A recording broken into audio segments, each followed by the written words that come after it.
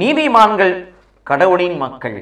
இது இயேசு கிறிஸ்துவுக்குள் பிரியமான என் சகோதர சகோதரிகளே இந்த நிமிட நச்சரிக்கை இயேசுவின் நாமத்தில் நான் உங்களை அன்போடு அழைக்கிறேன்.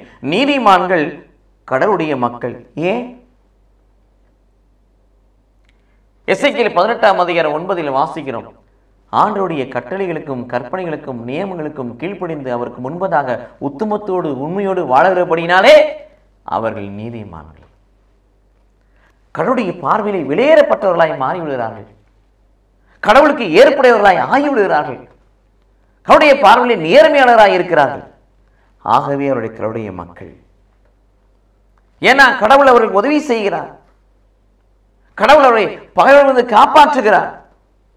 கடவுள் தொடர்ந்து அவர்களுக்கு பாதுகாப்பை கொடுக்கிறார். இது இயேசு கிறிஸ்துவுக்குள் பிரியமானே நீதிமான்கள்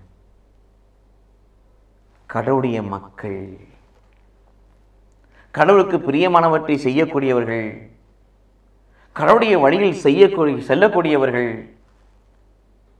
கடவுளுக்காக தன்னை அர்ப்பணிக்கக்கூடியவர்கள் உலக பற்று அற்றவர்கள் எந்த ஒரு நிலையிலும் நீதியையும் நேர்மையும் தன் வாழ்க்கையை வெளிப்படுத்தக்கூடியவர்கள் உலகத்துக்கு செவி கொடுக்காதவர்கள் என்ன நடந்தாலும் கடவுளுக்கு நன்றி சொல்லக்கூடியவர்கள் இவர்களை பார்த்துதான் நீதிமான்கள் கடவுளுடைய மக்கள் என்று சொல்கிறார்.